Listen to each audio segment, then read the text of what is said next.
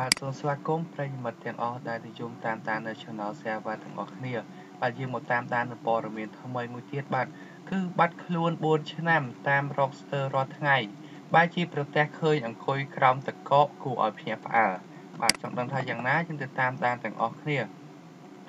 ជនជាតិរុស្ស៊ីម្នាក់បានបាត់ខ្លួនកាលពីជាង4ឆ្នាំមុនអំឡុងពេលឡើងភ្នំដាច់ស្រយាលមួយ តែពុំមាននរណាម្នាក់បានដឹងពីទីតាំងបាត់ខ្លួនឡើយដោយសាច់ញាតិនិងមិត្តភ័ក្តិជនរងគ្រោះជាច្រើននាក់បានតាមស្វែងរកជាប្រចាំតែមិនឃើញទើបតែឃើញកាលពីប៉ុន្មានថ្ងៃមុននេះតែប៉ុណ្ណោះជនរងគ្រោះមានអាយុ49ឆ្នាំបានបាត់ដំណឹងកាលពីឆ្នាំ2014ខណៈពេលដែលឡើងភ្នំអែលថៃនៅជួរភ្នំឈូ ដែលមានទីតាំងនៅជាប់ព្រំដែនប្រទេសរុស្ស៊ីហើយនិងចិន ម៉ុងហ្គោលនិងកាហ្គាត់ស្ថានផងដែរតាំងពីថ្ងៃបាត់ខ្លួនគេមិនអាចរកឃើញសញ្ញាណាមួយនៃសាកសពទេ តែគេគិតថាជនរងគ្រោះទំនងជាជាប់នៅក្រោមទឹកកកមិនខាន កាលពីពេលថ្មីថ្មីនេះគេពិតជាបានរកឃើញនៅក្រោមទឹកកកនៅភ្នំនោះពិតមែន។ ពេលប្រទះឃើញក្រុមអ្នកជួយសង្គ្រោះពិតជាមានការភ្ញាក់ផ្អើលនិងសង្វេគចិត្តពន់ពេកពេលឃើញសភាពសពជនរងគ្រោះអង្គុយនៅត្រឹងព័ទ្ធជុំវិញទៅដោយតកកយ៉ាងរឹងណែន គេសន្និដ្ឋានថា ថ្ងៃបាត់ខ្លួនរបស់គាត់ប្រកាសជាថ្ងៃជួបជាមួយនឹងព្យុះតកកទើបធ្វើឲ្យគាត់ស្លាប់ក្នុងសភាពដូចនេះ ដោយសារតែទឹកកកមានសភាពរឹងពេក ក្រុមអ្នកជួយសង្គ្រោះបានចំណាយពេលដល់ទៅ4ថ្ងៃ ដើម្បីជីកគាស់យកសាកសពនៅក្រោមទឹកកកជម្រៅប្រមាណជាកន្លះម៉ែត្របាន ពួកគេបានប្រឹង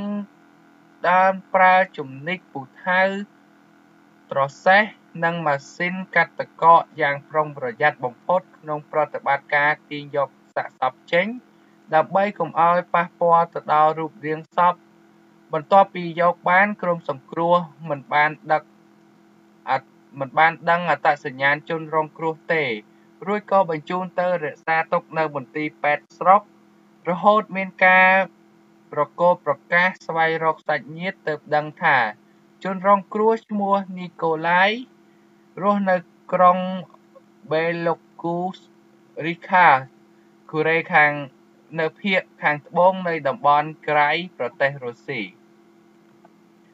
មុនឈានទៅដល់ការជីកគាស់នេះដំបូងមានអ្នកឡើងភ្នំកំសាន្តពីរ3នាក់ពួកគេក៏ឃើញអ្វីមួយខ្មៅខ្មៅនៅក្រោមទឹកកករួចក៏នាំគ្នាមើលទើបដឹងថាជាសាកសពរបស់មនុស្សហើយពួកគេក៏ប្រញាប់ជូនដំណឹងទៅដល់នាយកដ្ឋានជួយសង្គ្រោះបន្ទាន់តែម្ដង ពួកគេបញ្ជាក់ដែរថា ជនរងគ្រោះបានប្រាប់ប្រពន្ធថានឹងចុះពីភ្នំនៅថ្ងៃទី8ខែឧសភា ឆ្នាំ2014តែដល់ថ្ងៃទី11ខែឧសភាហើយមិនទាន់ឃើញមកវិញទៀត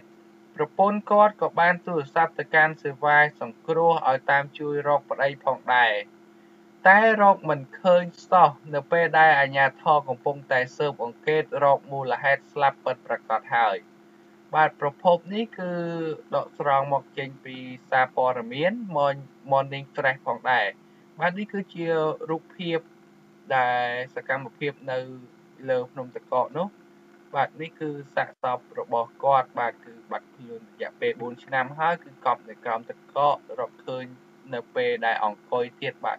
ពិតជាគួរឲ្យអាណិតមែនទែនបាទគឺអង្គុយរងដល់ស្លាប់តែម្ដង បាទចំពោះសារព័ត៌មាននេះ Channel សាវត្តក៏សូមបញ្ចប់ត្រឹមប៉ុណ្នេះបាទសូមអរគុណប្រិយមិត្តទាំងអស់ដែលតាមដាននៅ Channel សាវត្តទាំងអស់គ្នាផងដែរបាទសូមអរគុណសូមជម្រាបលា